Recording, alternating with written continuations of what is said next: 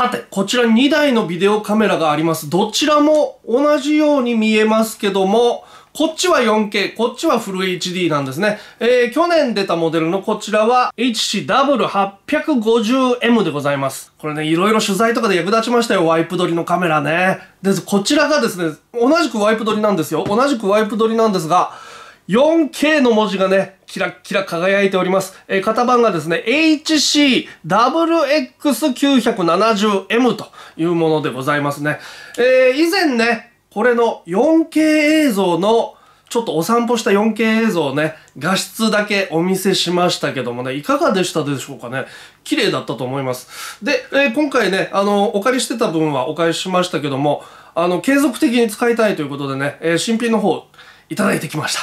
ということでね、がっつりレビューしつつね、もう今後のね、取材はこちらの方で取材カメラにしていきたいなと思いますけどもね。えー、じゃあ細かいところ見ていきましょうか。まずね、この新旧の2台見比べてみてね、変わったところ、ここです。はい。ここにライカと書いてあります。ライカディコマーレンズになったんですね。ただし、ライカが認める性能のためにはこの付属のレンズフード、これをね、つけないと、一応ライカレンズの性能にはなりませんよということらしいんですね。はい。これフードつけると随分かっこよくなりますね。プロっぽいですよね。フードの方にもライカディコマーと書いてあります。さて、こちら2台並べてみましたけどもね、パッと見、同じでね、違いが全然見えてきませんけどもね、はい、パッと寝かしてみましょう。いや、全然わかんない。これ同じだよね。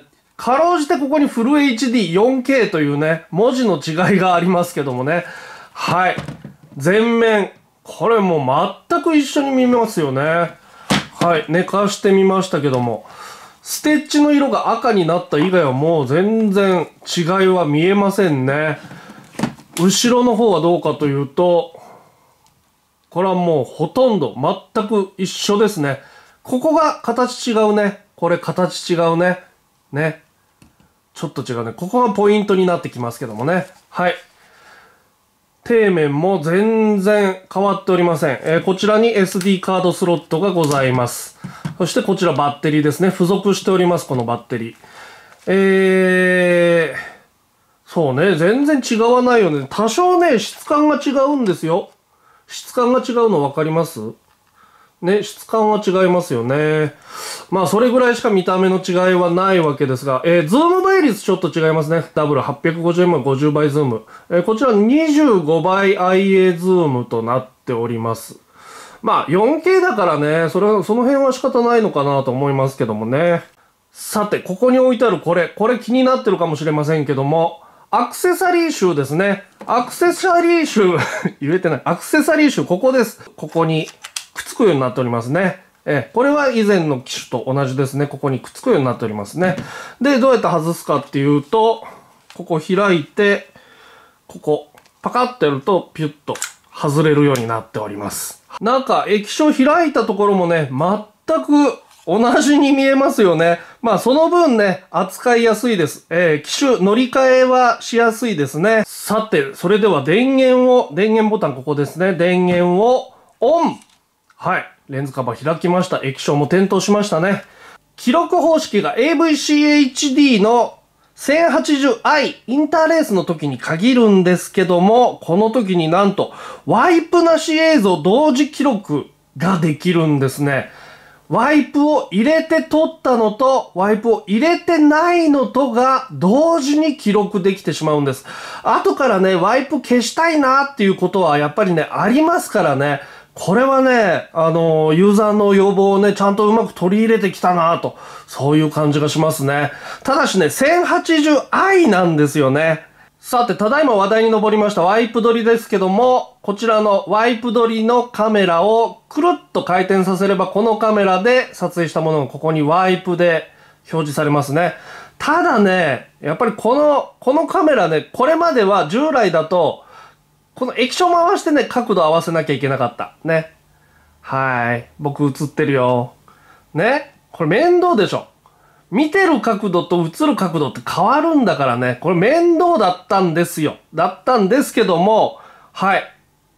今回からは、このモデルからはカメラの角度が 動くようになりました。わかりますか？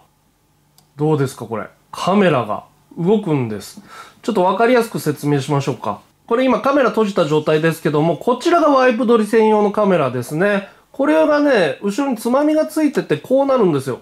くるっ、くるっと。くるっくるっとなるわけですね。はい。くるっ、くるっ、くるっ、くるっと。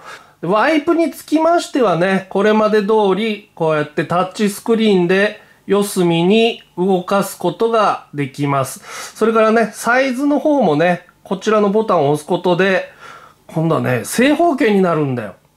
正方形になるのと、もう一つ、ちっちゃい四角。ちっちゃい四角になるのと、ね、ちっちゃい四角でしょ？それから、でっかい四角になるの。ね、それがある。えー、そしてですね、これ、ほら、ズームもできる。ね、顔でっかく映したいときはズームもできます。まあ、あんまり顔でかく映した人はいないと思うけどもね。えそれからプリ、プリセットじゃないや。あのー、設定ですね。ホワイトバランスとかね、露出とかね、えー、このワイプの部分のホワイトバランスとか露出であるとかをいじることができますし、今回からですね、カラーというのがつきました。今、枠線ついてるの分かります？えー、ドロップシャドウがついてるんですね。えー、グレー、グレーの枠線。あー、ちょっと分かりにくいかな。これ暗くしますね。カメラ暗くしていきますね。色はピンクと、えー、グリーンと、それから赤かな。で、グレー。それからドロップシャドウと。で、従来通りの枠線なしにもできます。まあ、グレーが一番無難かなとは思いますけどもね、ドロップシャドウもいいかな。まあ、グレーかな。うん、グレーにしとこう。それともう一つ、こちら、ナレーションモード。ナレーションモード入る、切るってなってますけどもね、えー、ワイプ撮り、ワイプ撮りしてるね、お父さんであるとか撮影者の方のナレーションが入りやすくなったと。ね。通常、切るにしといけば、通常の音声ですね。で、ナレーションモード入れると、お父さんの、まあお父さんって限らないけどね、あの、撮影者の声が入りやすくなるというモードですね。これは結構便利ですよ。ちょっとやってみましょう。はい、こちらが僕のギターです。というのを、ナレーションモードを切った状態で、オフにした状態で喋っています。音声の聞こえ具合はどうでしょうか？っていうかこれが普通の聞こえ方です。はいこれが僕のギターです。かっこいいでしょう。っていうか音声の聞こえ方はどうでしょうか？今度はナレーションモード入るにしてみました。オンにしましたね。えー、ナレーションに向いてる音に聞こえますでしょうかね？どうでしょう？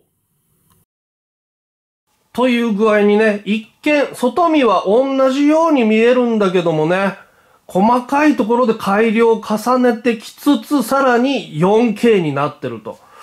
いうわけでね、まあ、4K の映像は以前にもアップしましたんで、そちらの方ご覧いただければと思うんですけどもね。いやー、まあ、とにかく、良くなってる。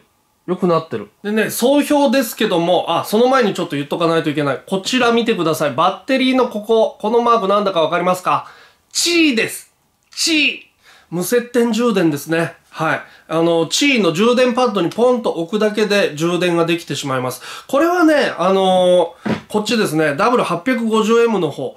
これをね、1年間使っておりましたけども、もうほんと便利。家帰ってきたら、ポンと置くだけなの。ほんと便利。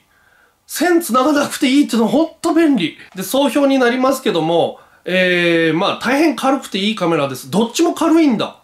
これどっちも軽いんだ。じゃあ、えっ、ー、と、W850M、えー、1年間使ってきた総評になりますけども、本当にね、今も言ったけど軽い。軽いからもうね、取材用に最適。で、手ブレ補正ね、バッチリ効くのよ。で、去年ね、アメリカに行って、Google プレックスとかね、あと YouTube スペース、ロサンゼルスなんかをね、撮影してきましたけどもね、その時に持ってったのがこれなんですね。このカメラなんです。えー、アメリカウイジンでしたけどもね。なんと今年もアメリカウイジンになりそうですね。こちら WX970M ですけども、えー、なんと、ナブ賞に今ちょうどね、12日ですけどもね、えー、これから成田の方に向かって飛びますけども、えー、これから、これ、これも荷造りして持っていきたいと思います。はい。えー、ナブのレポートもね、上げられるかな、アップできたらいいなと思いますけどもね。とにかくね、近所の家電量販店とかでね、これね、持ってみてください。軽いです。他の会社のより、あ、そういうこと言っちゃあれだけど、軽いです、本当に。パナソニックの 4K ビデオカメラ WX970M でございました。続く